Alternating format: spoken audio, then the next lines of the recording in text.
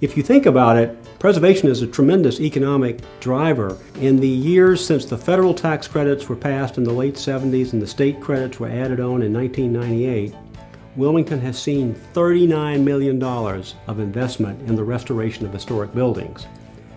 Now, those dollars, according to conservative economic models, roll over three to five times.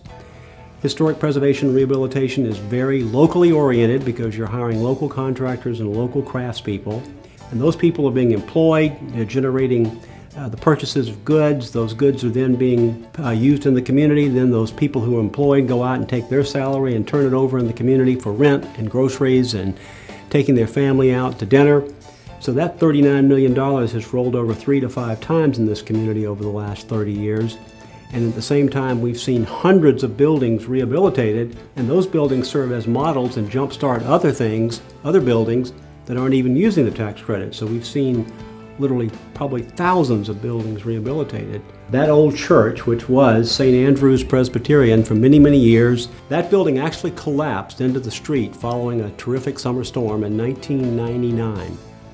And the foundation said that that building had a future and needed to be part of the fabric of our community. We rushed in, we bought the building, we collaborated with the city who put monies into the building and it was stabilized and generally restored.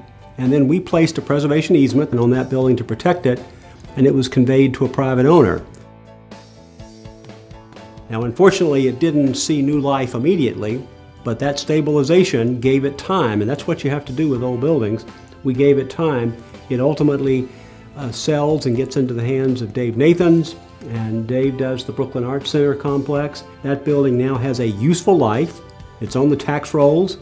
It is a vibrant center for weddings, for gatherings of all kinds, from antiques and collectible shows to our vintage event to concerts of every type. And um, it's bringing hundreds and thousands of people into that Brooklyn Arts District now and all up and down North 4th Street. And we had our offices there for a number of years when it was pretty, pretty quiet.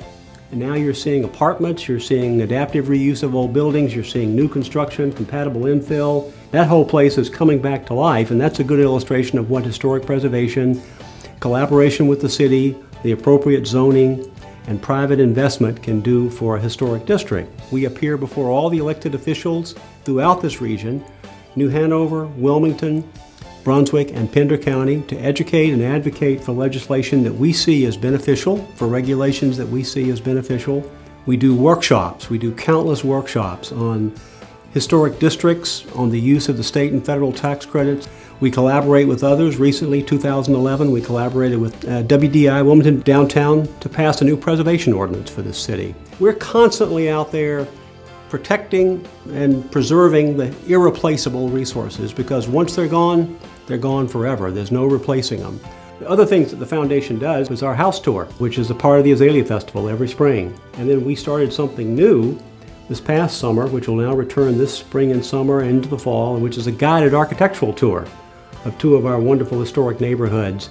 The streetcar neighborhoods around Market and 17th to 20th Streets, those are neighborhoods that are established in the early 20th century, dependent on the streetcar. And then Wilmington's first automobile-oriented neighborhood, which was Forest Hills.